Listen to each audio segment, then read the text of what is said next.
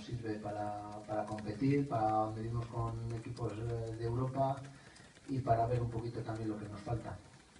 marcando ellas para, para, el partido de vuelta? Complicado. En el descanso hemos eh, hablado de la importancia de, de, tener la portería, la portería cero. No ha sido, no ha sido posible, pero bueno, eh, complicado porque, porque ya habéis visto que es un equipo muy físico, muy potente, que está en un nivel, además llevan bastantes más partidos que nosotras. Físicamente yo creo que están en un momento, momento óptimo.